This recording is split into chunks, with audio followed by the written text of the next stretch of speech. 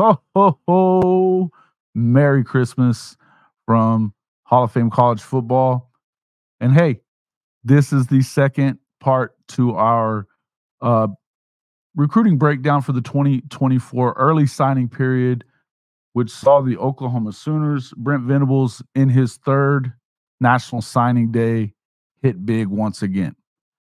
Defensively, obviously, we've talked about it on that last video how important it really was to sew up the trenches, make sure that you're getting amazing talent all over the defense because in the SEC, defense is how how you win and lose championships. And championships is what it's all about. But hey, make no mistake, Santa Claus did not forget to throw a couple of offensive weapons under the tree for the Sooners this Christmas. Let's talk about those guys right now.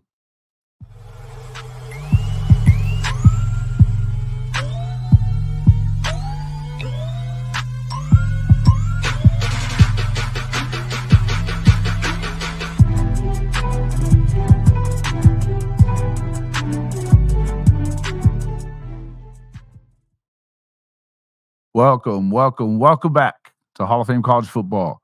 I'm your host, Jason Watkins, and if you love college football, you know you're in the right place. So before you forget, smash that red subscriber button, like our videos, and don't forget to ring the bell so you don't miss a moment of Hall of Fame College Football. Folks, big doings.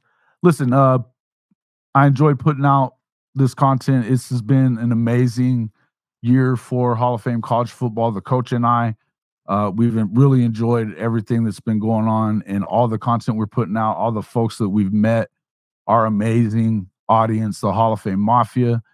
Please be sure to continue uh, passing out this content to everybody. Help this channel and this community, which is an amazing community, continue to grow. Today, I want to go ahead and break down quick video here to talk a little bit about the offense the offensive recruiting for the Oklahoma Sooners.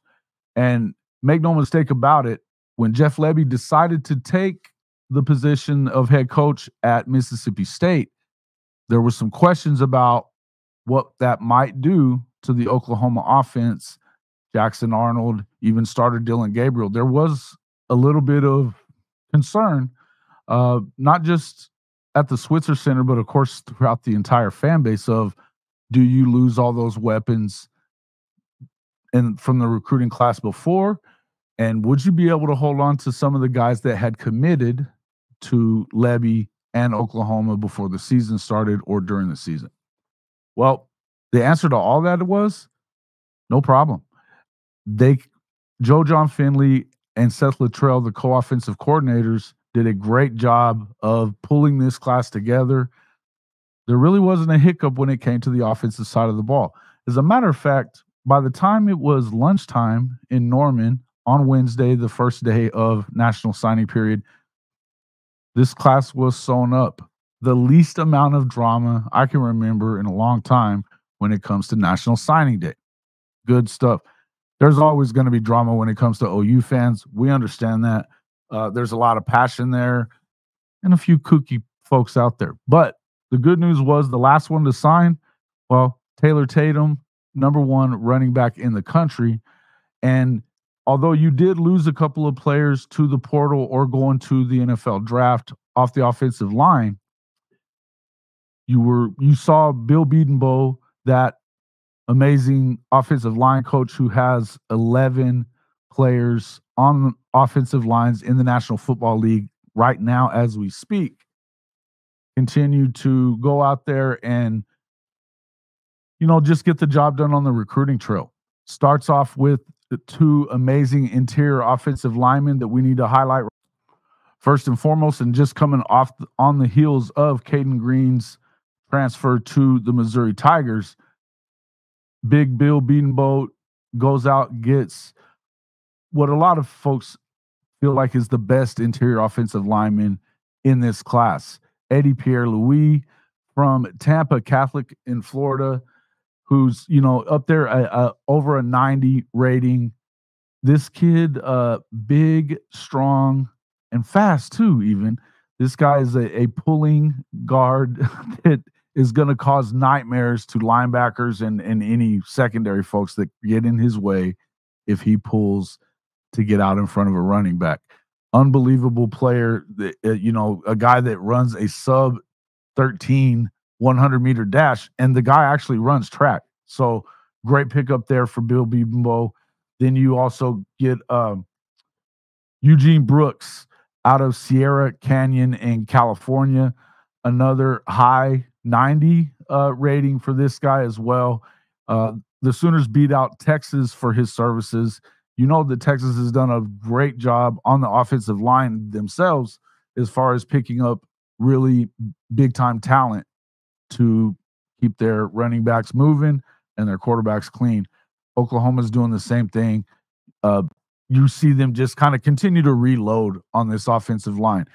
There was some question about how good it could be because of the youth at the positions all across the line and a lot of new faces that will be on the on the offensive line when Oklahoma takes the field in August of next season. I'm not too worried about that because of the fact that you got guys like Bill Bedenbaugh, and when you go in and pick up guys like Eugene Brooks, and as we said, Eddy Pierre-Louis, that's not a bad. Big Bill also picked up a big time recruit in offensive tackle, an 88 rating for Isaiah Autry out of Fulton, Missouri as well. So they will continue pushing for offensive line help in a big way. Uh, really, we're hoping that you probably get Grant Brix, but he stayed home with for Nebraska, which uh, you know is a bit of a loss. But I think that next year the expectations are for this next recruiting cycle, you have some big time linemen, and Bill Bedenbaugh is going to be in the mix for all of them. One thing you know for sure is when it comes to this staff, development is key. Nobody's better at developing the offensive line than is Bill Bedenbaugh. Now, Moving on from that, look, skill positions don't generally pose too much of a problem for the Oklahoma Sooners, and that precedes Lincoln Riley for a long time. I mean, let's just go. You could go down the list of guys, uh, you know, all the way back to the 70s and 80s and 90s. Even in the the terrible, awful 90s, there were still some really, really good players that put on the crimson and cream and scored lots of touchdowns this running back room with which is led by one of the all-time great running backs in Oklahoma history, DeMarco Murray, continues to impress across the country. This year, no better player than Taylor Tatum himself, the number one consensus running back in the country out of Longview, Texas. Longview has a history of putting out unbelievable athletes. It's the home of Trent Richardson. And now here comes an explosive running back that we got to check out. Listen, this was a big commitment whenever Oklahoma picked it up in the springtime. Um, you know, beating out Lincoln Riley, their former head coach, who was really trying to pick him up out there at USC, regardless of what you might be hearing out of the USC camp. Tatum had a huge junior season, and um, obviously just you know when you take a look at this guy he is just something else. This guy absolutely blows away angles you know um, you're not going to get to him and catch him. A lot of times he's also really good catching the football he had another receiving touchdown this season in his junior season he had 227 attempts for 1889 yards 33 rushing touchdowns along with three receiving touchdowns. That was in 13 games for the Longview Lobos. His senior season was a little less productive as he only played in 11 games, but it was uh, still very, very good. He had 189 attempts on the ground, 1,463 yards with 20 touchdowns uh, on the ground, another one on the receiving end, and he even threw one, uh, believe it or not. So, uh, got to check this out with him. Let's see. I want to show you. Yeah, look. I mean, this guy just destroys angles. But look at this. This kid can even, you know, throw the ball a little bit. This is a dime. Can Damn! Taylor Tatum is that dude. As you can see, hard to get a hold of, big, physical, and once he gets an opening, the kid can fly. Um, this is a monster, monster pickup for the Oklahoma Sooners. He is a guy that is going to come in and play baseball as well. He is just as good a baseball player as he is a football player. It sounds like, uh, you know, it, the one of the stories they told from his junior season was that generally he ran, uh, or well, he was a baseball player, but they had an injury for the 400 or 4 by 100 meter relay team for Longview. They have the track meet there in town and he goes, fills in, they win the relay race. He runs from the stadium over to the baseball field and leads off the game with a home run. Uh, that's quite quite the story about an amazing, amazing athlete. Oklahoma got a good one here. Again, this is not a program that is not used to picking up big players on the offensive side of the ball. As you can see with Taylor Tatum, big time pickup for him. But you also go and look at Zion Kearney, who's just the next line down there. He is a four star, unbelievable wide receiver, 6'2, 195 out of Hightower in Missouri City, Texas. Um, this kid is not just a big body, but a burner as well. He's going to be a good one. Devon Mitchell. Now, this kid right here is oof, arguably you know, to me, I think that this may be one of the best pickups of all uh, for this class, even though he's not showing up as a five star anymore. And let me explain. As you can see here, Devon Mitchell out of Los Alamitos, California, he played his junior season. Well, it was actually his sophomore season. This is a a situation where Devon Mitchell comes in as a basically a junior that graduated early, reclassified during the season at Los Alamitos. He played his sophomore, what was his sophomore season at Allen, Texas, along with another commitment uh, at quarterback, Michael Hawkins Jr., which we'll talk about in just a few minutes. Devon Mitchell, as a 2025 classman, was a top five overall selection in recruiting. He drops back a bit, obviously, stays in the national top 100 here in the industry ranking. But um, look, this kid is that dude. Big, strong, uh, you know, big body, huge wingspan. And and he is going to be probably one of those uh, as crazy as it sounds, everybody's expecting that he is going to probably start from day one uh, on this offensive team that is probably a bit light of of all the places on offense. It's probably at its lightest in the tight end room, having lost Austin Stogner to graduation, plus um, also uh, another couple. Uh, Llewellyn was also a guy that left the program as well. This was a big pickup for the for the Sooners and, and Joe Jon Finley to be able to hold on to him because there was some question about once Lebby left, would Devon Mitchell stay committed? He stays committed to his guy, his quarterback, and this is a big time. Now, a big reason that you were able to get Devon Mitchell was because of this next guy right here, Michael Hawkins, quarterback, six foot one, 190 out of Frisco Emerson in McKinney, Texas. Look, this guy, legacy player, has been an unbelievable force over the last couple of years, both at Allen and then this year at Frisco Emerson. Emerson started off a little bit slow, but ended up in the state semifinals on the back of his amazing season. I definitely want to get in here and show you his video real quick, but let's just take a look at. I mean, this is a guy that, look, 6'1, 185. His star ranking has shot up. He is just under a 90 at this point. This kid has a big arm. He's fast. I said he's a legacy player. He's his dad, Michael Sr., played for Coach Venables in the early 2000s at Oklahoma and then played for over a decade in the NFL as a defensive back. This guy's the real deal as well. Leadership galore. And oh man, does this kid have some speed on him? as you can see, uh, what a season for Michael Hawkins Jr. He had 303,039 passing yards with 41 touchdowns. He only threw, I believe it was under 10 touch uh, interceptions on the season.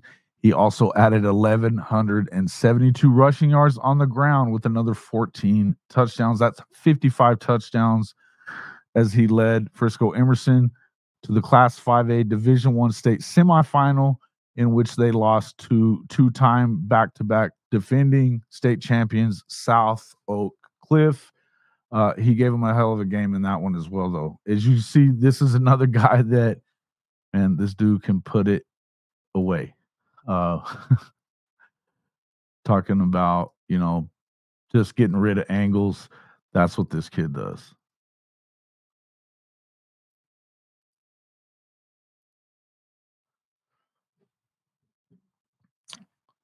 you know, gets in trouble here. It, it, it's just amazing to watch this kid go. I mean, he can scramble around and look, stops on a dime, able to get to. It reminds you a lot of Kyler Murray, only he's a little bit bigger, quite a bit bigger actually. And but as you can see, look at this. This is out in Lubbock. This guy.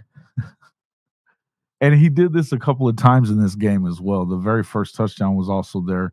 He just destroys angles on the run game. He can also get the ball down the field, throws amazing touch balls down the field. You know, as you can see, he's leading his guys. There's no waiting on this football whenever he's throwing it. Lots of accuracy. He improved his accuracy by more than 10 percentage points from his junior to senior season.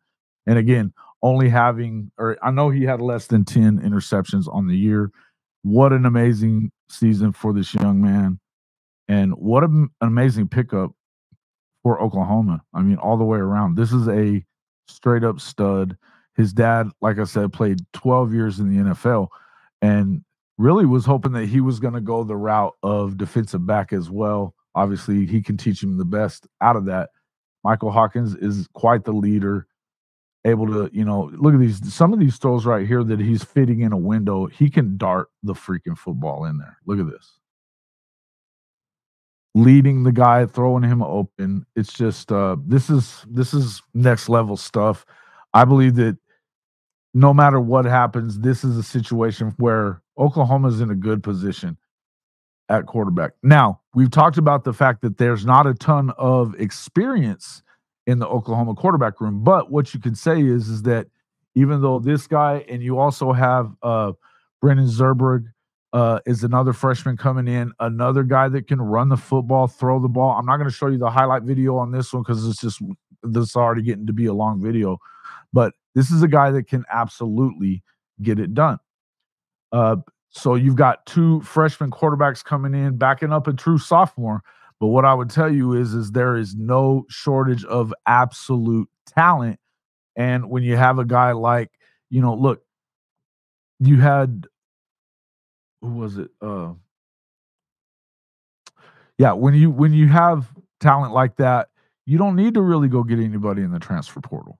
You know, I know they've been talking about Casey. I know they've been talking about Casey lately. Oh, Casey. I don't want to see that really happen. That's kind of up to Oklahoma, but I don't think that you need a bunch of look. If you were going to go with experience, you should have kept Dillon Gabriel around. I don't think that that's the case. You've got three uniquely talented young kids ready to go into it. Let them go learn the system with Littrell, and let's see what happens. You know, I, I, the way I feel about it, I would go with Michael Hawkins as as a backup all day long. And Brendan Zurbrugg may actually be a little bit better. Let's take three.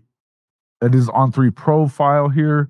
Uh, again, 6'2, 185. He's from Alliance, Ohio. He was kind of a late entry, but it looked like he was supposed to be going. I want to say it was uh, Penn State or something like that, and he dropped out, or maybe it was Ohio State even. I'm not exact. I don't exactly remember, but he ended up uh, committing to OU back in what would have been August. Yeah, August of uh, of this year. It was kind of a surprise commit, but it was somebody that Jeff Lebby had kept an eye on. You almost felt like he might go ahead and one of those guys could possibly decide to decommit. Both of them have committed, both of them are signed. Uh, so you've got both of them in the building. And again, I don't really we don't have time to to show the whole video here on him. Rest assured, get on there and check him out because he's the real deal as well. Let's go back and look at the rest of this class and again tell you why this recruiting class, the 24K uh, gold standard of recruiting, I think it really has hit that. They talked, they called it that, hashtagged it that before it ever really got started.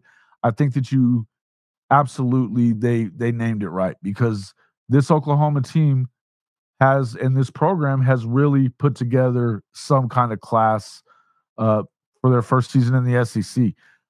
I think that obviously with a little bit of you know you've got some experience issues, but what you do not have is athleticism problems or and you've got a bunch of coaches that have done a hell of a job of bringing these kids along and developing their talent. You know, this a lot of that I believe has to do with plain and simple the culture that Brent Venables and his staff are instilling in this program. Culture is everything. We talked about why it's important that you do everything the same all the time. When everything came up with Cayden Green that did, they tried to placate to him and get him some more money in NIL. Then he came, comes back and demands even more money. Now, there's a couple of stories out there. One of them saying that he was uh, turned down on the second set. So another side of it says that they they offered him that amount too. That to me sounds like he was ready to go back to Missouri. Maybe he was a little homesick, and that's fine. That's fine. If he is not a fit in the locker room anymore, and it's something that they felt like it wasn't going to work out, he took off. He's no longer with the program. But when you've got a coach like Bill Bedenbaugh who is going to, he develops unbelievable talent on the offensive line.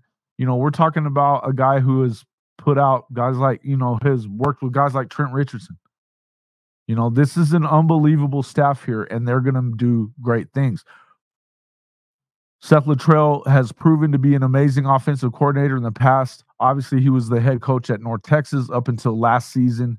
Um, he is uh, proven to be a great play, a play caller that I think he even obviously he has more play calling experience than did Jeff Lebby. The fact that he was already an analyst on staff is big as well. Look, guys, this to me is a good situation for Oklahoma. It really is. I know that you'd love to see them, and particularly when you hadn't won a national championship in a while, you would like to see that they go in there and get the number one class, or you know, even kind of like Oklahoma or kind of like Texas going and you've had the the number three class for two years in a row. Well, that's all well and good.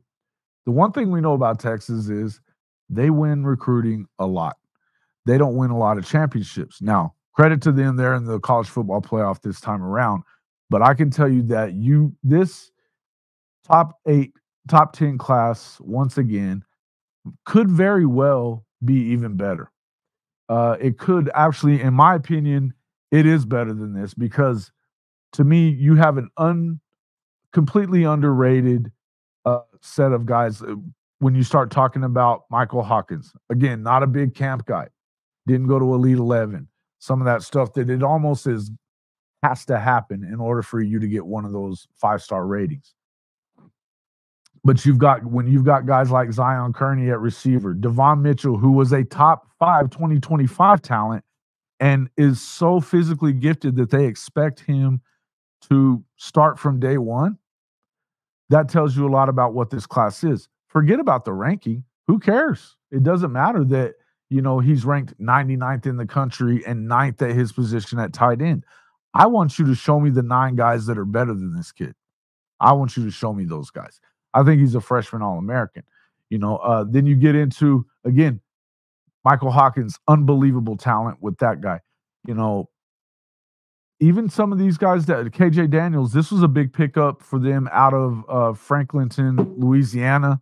You know, he's a, a three star guy, but this is another one of those underrated guys. And I'll tell you another one the most underrated guy in this class, in my opinion, and a guy that could very well turn into a face of the franchise kind of player uh, is Xavier Robinson right here.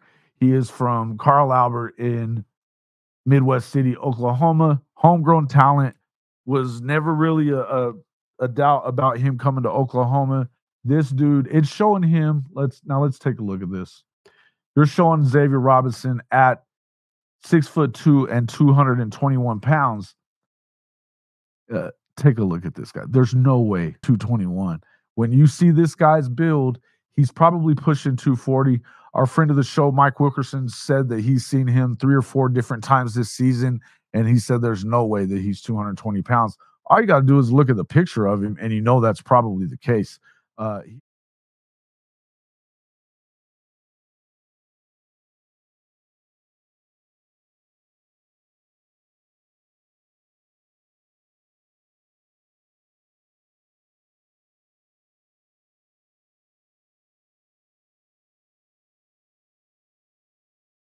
my God Bruh. Damn. Was never really a, a, a doubt about him coming to Oklahoma. This dude, it's showing him. Let's now let's take a look at this. You're showing Xavier Robinson at six foot two and 221 pounds. He's not 221. When you see this guy's build, he's probably pushing 240. Our friend of the show, Mike Wilkerson, said that he's seen him three or four different times this season and he said there's no way that he's 220 pounds. All you got to do is look at the picture of him, and you know that's probably the case. Uh, he's looking like he pushes at least 240 to me, but it doesn't affect his speed. This is a guy that unbelievable in the open field, in the hole. He's a guy that nobody is going to want to tackle. You add that with Taylor Tatum. You add that with the room that is already there. Gavin Sawchuk. You know, uh, you still got Jovantae Barnes in the room. We're going to find out, you know, hey, we hadn't even seen a whole lot from last year's big pickup in um, Kalib Hicks from Denton Ryan, who looks like, you know, physically, he looks like he's ready to go right now. This is a stacked running back room. And if you can get uh, the blocking down somewhat like you saw at the end of the season when you saw some of those younger guys stepping up to the offensive line, I think that this could be a big deal with a guy like Xavier Robinson, and then you got another big body back in Tatum, um, Taylor Tatum. I think the sky's the limit for this offense. They're going to take some of the tempo out of it, I believe, which is probably a good thing. And look, I'm just telling you, this is a guy right here that they've got him as a three star. Wait until you see what he does that's the this is the kind of player right here that can that can make you completely not give a crap about stars. completely not care. If DeMarco Murray goes and looks at this guy and says, We want him, we need this guy, what else do you need to know? It's DeMarco freaking Murray. Guys, let me know what you think about this offensive, amazing offensive class. We didn't even get into all of it. There are, uh, you know, there's another bit. Hey, I'll tell you what, I do need to to to throw this out there about Let's see. Come on. Yeah. All right, let's uh look at it one more couple of guys. Oh yeah. Let's not forget about Big Ivan. Now, the question for me is where is he going to end up? Ivan Carreon from Odessa, Texas, Odessa High School. This guy, six foot six, six foot seven, is what they were saying uh, on the OU website or on on their OU Twitter. Joe Jon was in the room with him. He's taller than Joe Jon Finley. I'm wondering if the fact that Joe Jon has been stepping into his recruiting a little bit with Emmett Jones. Now, Emmett's done an unbelievable job getting some of these amazing receivers in here.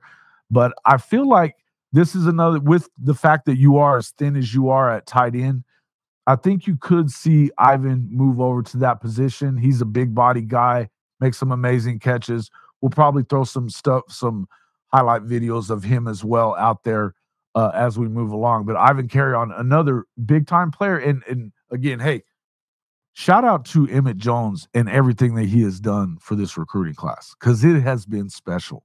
It really has, guys. And um, again, is he one of those top 100 guys that everybody's talking about? No. Do you think that there's anybody in Texas that wants to deal with a six foot seven guy that's got speed? No. These guys are mismatches. Guys like this and Devon Mitchell are absolute mismatches. You can't touch them. There's a lot of big body receivers on this Oklahoma team. Added to Nic Anderson, add on to Jayden Gibson. This is a stacked receiver room as well. Now you get a guy like Carreon, you get Zion, uh, you get Zion in the mix as well. Both Zions. As a matter of fact, let's not forget about Zion Ragins either, who he's the small one out of the group. But after you talk about Zion Kearney out of Missouri City in Texas, and of course this guy and Ivan Carreon, let's get down here and take a look at. But you got to see this Zion Ragins guy. This kid is a blur on the screen. Fast, fast, fast. He's going to be one of those guys that is going to flat out be a problem in the open field. You let him get this much room, and he is going to be a guy that's going to get it in the house right now. Um, I just had that up there. Is there he is, Zion Ragins, five foot seven, sorry, 150 pounds from Jones County in Gray, Georgia. And how this guy got out of that area, I'll have no idea. But they were all over him at South Carolina, Florida, and Florida State. And he's pretty much been, I think he's been locked up since July of this year. Never was there any, really any thought about him switching his commitment. Um, once Jeff Lebby left, he immediately tweeted out that he was a thousand percent still committed. I like this kid as well. Probably a lot of things that he can do in special teams. He's a small player, but you know how some of these speed guys are. You cannot coach speed. And a guy like this is going to be a big addition. So, again, look, guys, there's a lot of youth on this squad, and we knew that was going to happen with the way that Lincoln Riley left his football team. We knew that this was going to be part of it. Now, could they take some lumps in their first year in the SEC? Yeah, it's possible. But you've also had some guys, you know, when you got a first year starting quarterback, I think we're going to find out a little bit about Jackson Arnold, you know, in this game against a really good Arizona team in the Alamo Bowl coming up on the 28th, just four days from now. But guys, let me know what you think about this class overall. If you're one of those folks, like I told you in the last video, that and you can check out that video. It'll be in the suggested videos at the end of this. Make sure you jump on there. If you hadn't already checked out the defensive breakdown, do that. But folks, let me know what you think about it. But if you're going to be one of those people that just looks at stars and all that and basically is just a casual, you better watch what you say. You better show me something on film or something that somebody said about them that knows what they're talking about that tells me that it's not that this is not a good class don't just come in here and hate on them because they don't have the recruiting numbers or the stars next to their names that some schools like Georgia, Alabama, Texas, whatever has next to their name. They're building this team based on their ability to identify and develop talent. You got to trust in this program and what they're doing. They have made huge strides from where Lincoln Riley was whenever he gutted this football team on the way to Southern California. Trust and believe in this group. Trust and believe in this group. Guys, thanks a lot for coming in. Merry Christmas to everybody. We will see you in a couple of days. Love you guys all. Merry Christmas and see you on the next one.